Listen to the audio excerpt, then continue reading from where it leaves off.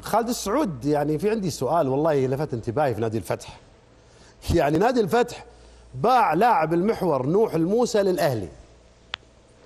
طلعوا بدالة مين؟ محمد المجحد. بعدين باعوا عقد محمد المجحد للأهلي. طلعوا بدالة مين؟ علي الحسن.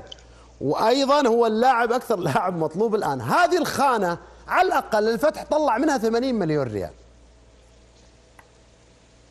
أقل بكثير مبادر لكن إن شاء الله 40 50 أرقام لا الأرقام حقيقة ما هي بالأرقام اللي أنت تتصورها ولكنها أرقام حقيقة. المجحد ونور اسمع المجحد ونور الموسى 30 ونوح الموسى. المجحد ونوح الموسى هاي 30 ها؟ 20 مليون 20 مليون. والمقهوي 8 مليون 28 مليون. لا لا لا. أنا المعلومة اللي عندي تقول 30 عموما أنت يعني ما راح مش حنختلف يعني مش حنختلف في 10 مليون وسط العشرات هذه نفس الشيء. لاعب مطلوب حقيقة ولاعب بلا شك له مستقبل كبير جدا ورأيناه مع المنتخب السعودي ورأيناه في الفترة الأخيرة ما شاء الله تبارك الله علم فريق للفتوى إضافة كبيرة. أعتقد أنه علي الحسن سيشكل يمكن يمكن قريبا يمكن ما أعرف إحنا إجازة وقتها ولكن من الممكن أنك تضعه في قائمة الانتقالات في الفترة الجاية وأتمنى بإذن الله أن تكون الصفقة إن تمت بالفعل نسمع من يمين ويسار أنه تكون على الأقل الفائدة المادية كبيرة لنادي الفتح كذلك للاعب يعني يعني ما راح تقل عن 20 25 صح؟ أعتقد إنها بتكون أكثر. 30 أعتقد إنها بتكون أكثر. 30 ما راح ما راح تقول على 30 يا أبو بدر. طيب 30 واللعيبه على ذمة خالد سعود رغم إني أنا ماني مقتنع ب 20 مليون قال. أنا أقول 30 مليون. يعني ثلاث لعيبة باعهم الفتح ب 60 مليون ريال. يستاهل. ما أنا ماني حاسدكم بس أنا شايف إن هذا خط تمويل مو سهل للأندية بالذات الأندية اللي ما عندها مصادر دخل.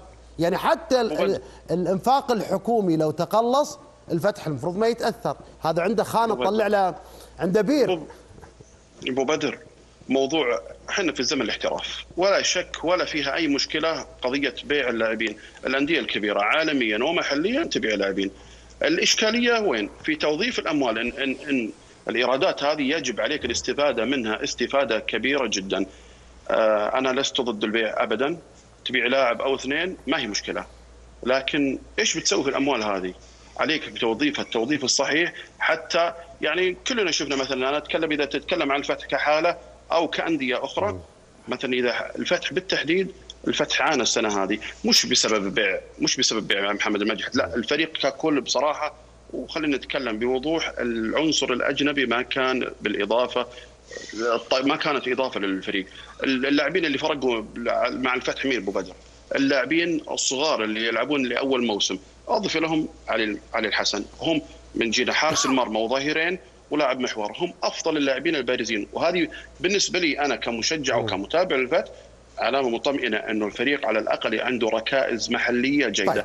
المتبقي حتى أنك تعيد الفتح شيئا فشيئا انه تكون العناصر الأجنبية عناصر أنا ما أبيك تجيب لاعبين super star. عندي مشكلة ثانية. أبو بدر الفتح مثله مثل النصر عنده لاعبين عنده سبعة لاعبين الآن موجودين وعنده ثلاثة لا زالوا على ذمة النادي وهذه فيها أعباء مالية كبيرة. في مقترح وأعتقد الوزارة ما هي بغافلة عنه كان في زمان طيب الذكر مع المستشار تركي آل شيخ. اللاعبين اللي كان اللي عقودهم ممولة من قبل الدعم الحكومي يسوقون داخليا.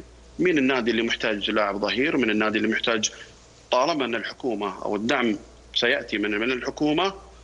اذا علينا إنه إحنا بدل ما يروح اللاعب ونخسر مبالغ من الجهتين أعطينا نعم. اللاعب ولا استفدنا منه يروح لنادي سين ونادي صاد. بالتمويل طيب. فلوسنا موجودة وبتروح اوريدي هي مدفوعة حتى ما نخسر مرتين.